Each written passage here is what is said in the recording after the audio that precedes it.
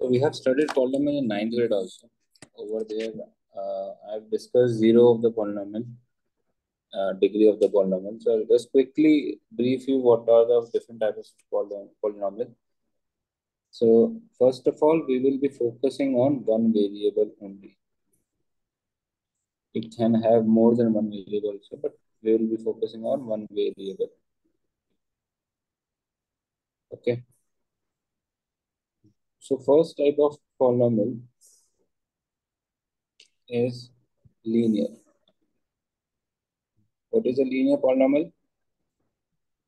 Uh, their degree is 1. Very good. Their degree is 1. So general form is ax plus b. Is that right. thing clear? Okay. ax plus b. Any doubt in this? No. So next comes quadratic. Where degree is 2. Hmm. And its general form is ax squared plus bx plus c. After that, third one is cubic,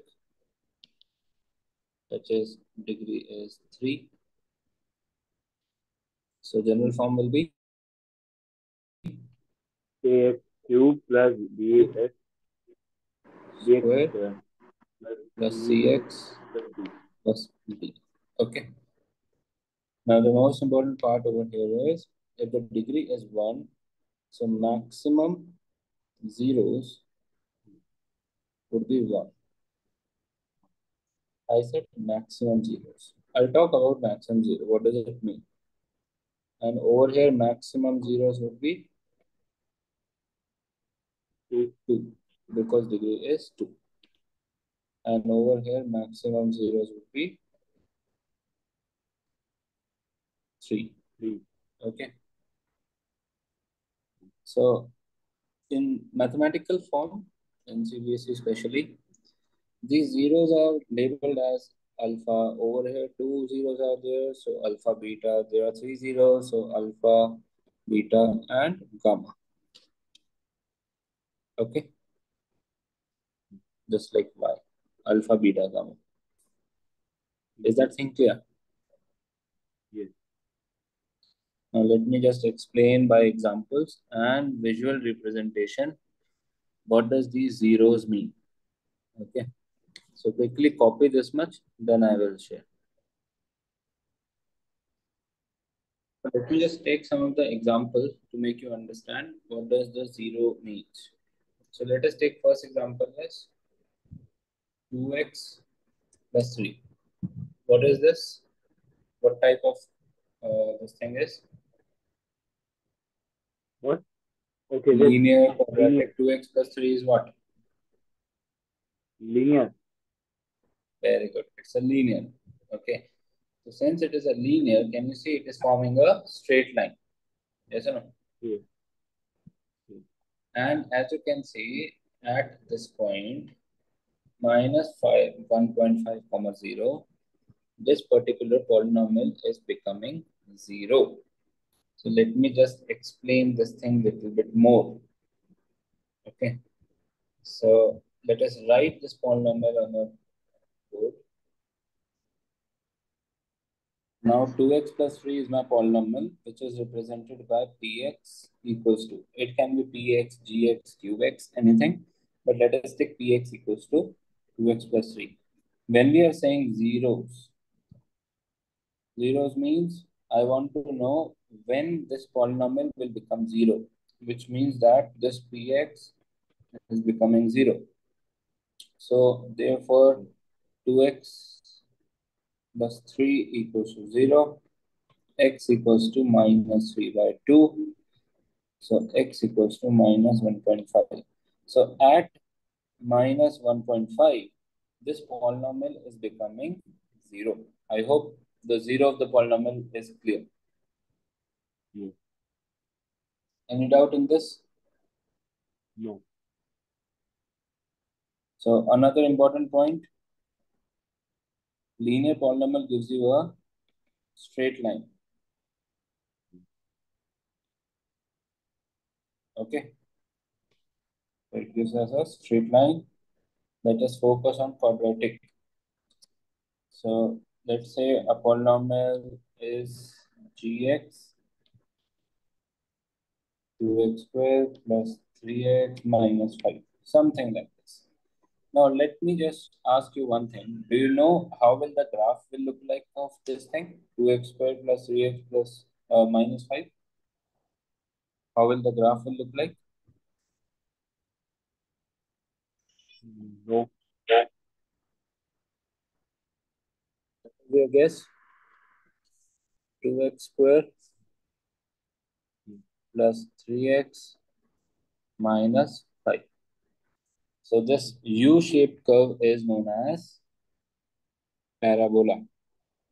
Okay. This is a parabola. And these are the two points where this parabola is becoming zero. Understood? So minus 2.5 and 1. These are the two zeros. Any doubt in this? No. So I'll just go back to the other screen.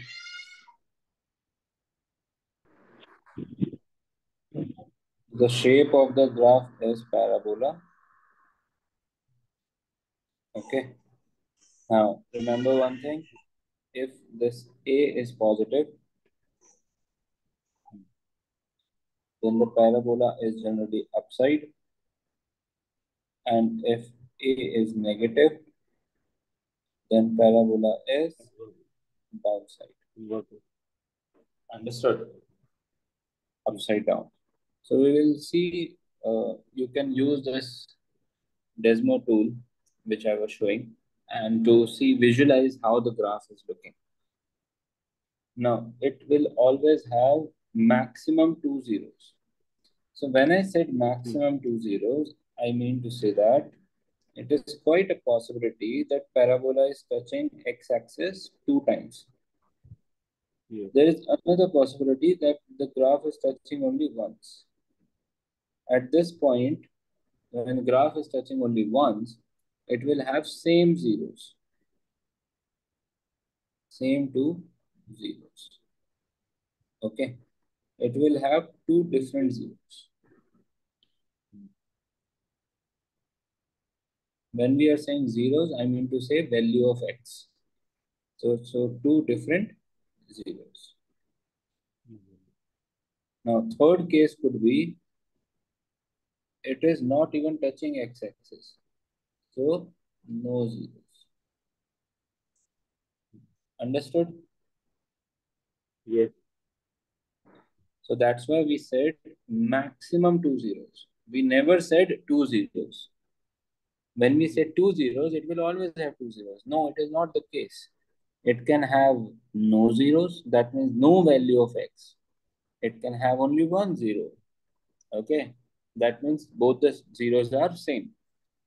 And third one is two different zeros.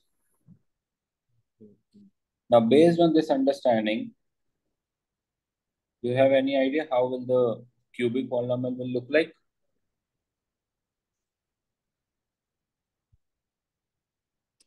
Cubic polynomial go like a wave,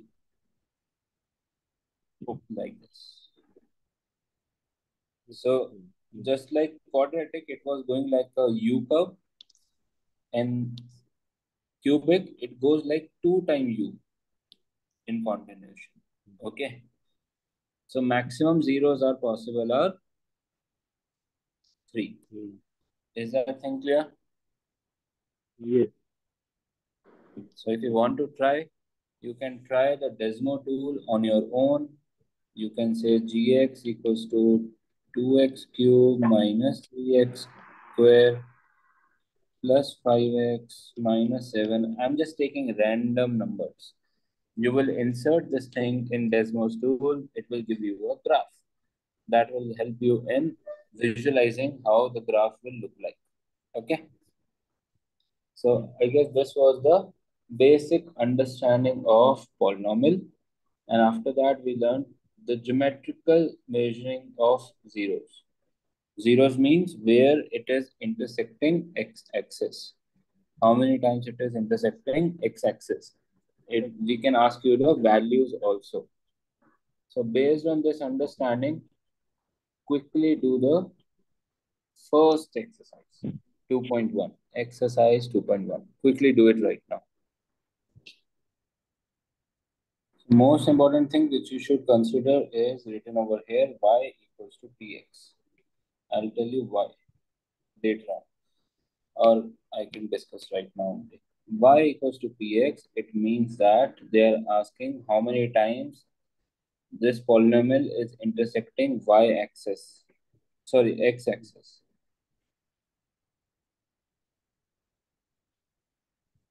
Suppose the question was x equals to py.